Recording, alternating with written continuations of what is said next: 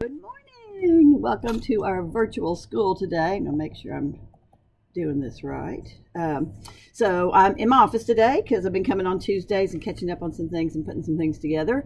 Um, but it's kind of good to, to be here. Just wish that you guys were all here with me too. So it is Tuesday, May the 28th. Um, and so we've got just some regular things always to get our learning day started. I know your teachers have lots of things planned for today um, to keep you moving and growing um, so that you'll be ready for next year's grade. Okay, so let's start. Look, I even put a regular necklace on today, you guys. We got, um, let's see whose birthday we're celebrating today. Today is the 28th. Today is Sherlyn Beltran Espinosa. Feliz cumpleaños to, Bel to uh, Sherlyn. And we don't have any teacher birthdays to celebrate today. I remember our manner of the week is leave the place better than you found it. So when you pick up, pick up anything extra that might be around. That'll be a good one for us to remember in the cafeteria um, when we come back to school too. Remember to just clean up and then um, clean up a little bit extra. Okay, that's our um, morning or weekly manner of the week.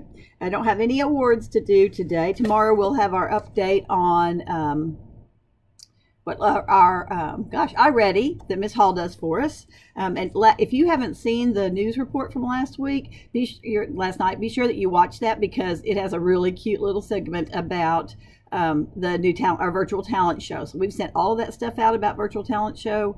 Um, we've sent stuff about yearbooks, pictures, and, and parents. The picture people apparently are on a skeleton staff, and and they told us to have them call you, but the messages there looks like it says don't call. So we're still working with them, trying to see what we can figure out as well too. So okay, um, make sure you're checking your emails, and make sure, boys and girls, you're not going places you're not supposed to be. I got a call yesterday um, about somebody who was at some inappropriate sites, and we locked. We had to lock down their computer. They can't do anything right now but NTI stuff. So even when they can't play cool math games or anything like that.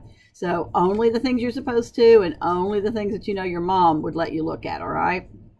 Um, and make sure that you're getting that NTI work done. We've got two, the rest of this week and next week of new work. Um, and then we'll have a fun week. So I want to make sure everybody's got everything caught up before that time. Okay. So get that caught up so that we can be um, ready for next year. Okay.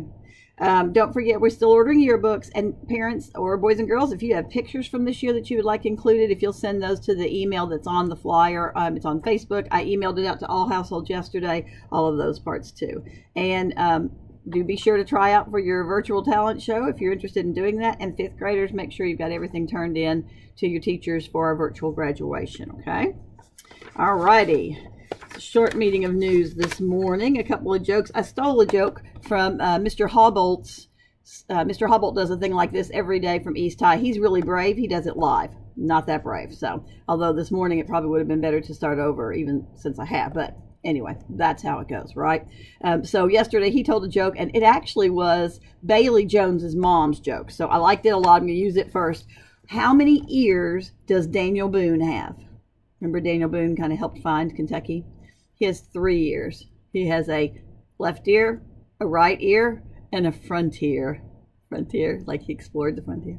So, Bailey, tell your mom thanks for that joke if you're seeing this. Alrighty, let's see. How would you shoot a bumblebee with a BB gun? And that would be fun to see too, I do believe. Why do bumblebees smell so good? because they wear deodorant. Deodorant.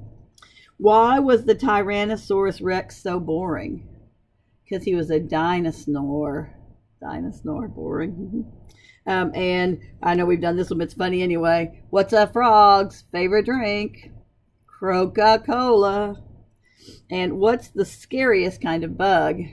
A zombie. Bee, like bee flying around zombie. Whew, yeah, well, let's go back to that frontier one because that was really a good one, I think, wasn't it? Frontier. I like that. All right. So say the red oak rules with me. Respect ourselves, others in our place, expect to learn, do our best, own our behavior, always treat others the way you want to be treated, and know we can. It is so important to me that you are kind. It is so important to me that you keep your hands and feet to yourselves. And then remember that our manner is clean up, leave the place better than you found it, okay? Stop in this evening, um, or some of you are watching it in the morning to see what's happening with Ralph. Um, he had managed to escape CATSO yesterday, so we'll have to figure out what's going on next. So, all right. Have a great Tuesday. Do your work. Stay safe. Love you guys.